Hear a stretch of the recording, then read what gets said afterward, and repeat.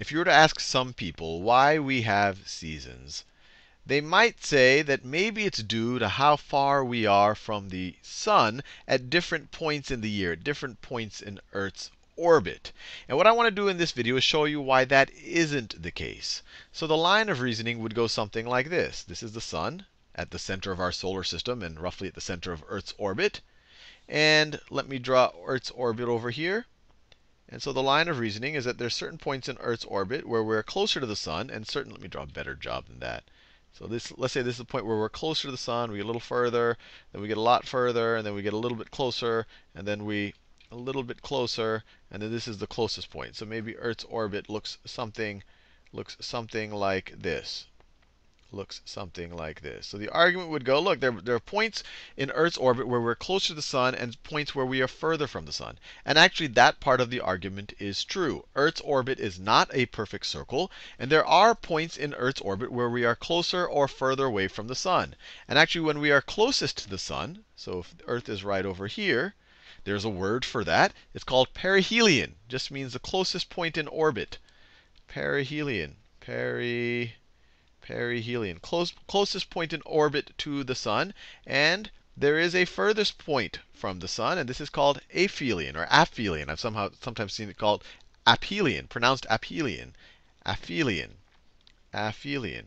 So it is true that Earth's orbit is not a perfect circle around the sun, although it's pretty close, but it's not a perfect circle. It has a slight elliptical, a, a, slightly elliptical shape, and because of that, there are times in the year where we are closest to the sun, and there are times of the year where we are furthest to the sun. And the difference is about 3%. So it's not a huge difference in distance. I've really exaggerated the difference in this diagram right over here.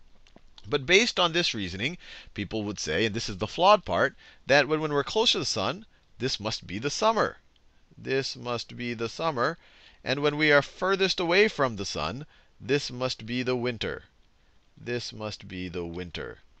And the, the, most obvious point of evidence why this is not the case is that it is not summer. When it is summer at one point of the planet, it is not summer throughout the planet at that time. In particular, when it is, so let me draw our planet in particular, in particular, when it is summer in the northern hemisphere, when it is summer in the northern hemisphere, actually let me do summer in a in a more warm color.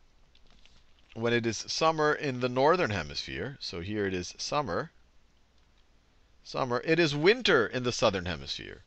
It is winter in the southern hemisphere. It is winter in the southern hemisphere. And when it is summer in the southern hemisphere, it is winter in the northern hemisphere. So the entire planet does not experience the seasons at the same time. So that's probably I guess you could say, the biggest just point of data that we observe on our planet, why this by itself cannot explain the change in seasons. And in particular, and in particular, it does it, it really goes against what we experience in the northern hemisphere because our perihelion right now is occurring in January. It is occurring during the winter, the northern hemisphere winter. Perihelion right now is during the northern hemisphere hemisphere northern hemisphere winter. And when we are furthest away from the sun, this is actually the northern hemisphere summer. Northern hemisphere northern hemisphere summer. So although it might seem like a fairly intuitive idea, hey, if we're closer to the sun, the whole planet's getting warmer, maybe that's summer. When we're further away, the whole planet's getting a little less energy, that's winter. The evidence we see on Earth goes directly against that. In particular, we don't have the same seasons in the, both the northern and southern hemisphere at the same time. And in particular, in the northern hemisphere, when we're closest to the sun, it's actually in January. It's actually in the middle of winter. So I'll leave you there in this video. I've left you just saying, okay, so the closeness to the sun does not right now does not dictate what season we are in. It's just saying what is the reason. And what we'll see in the next reason in the next in the next video, the reason is the tilt of the axis of the Earth, the rotational axis of the Earth.